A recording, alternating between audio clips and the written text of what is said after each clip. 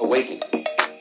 This sudden dawning on our consciousness that life is not really a contest.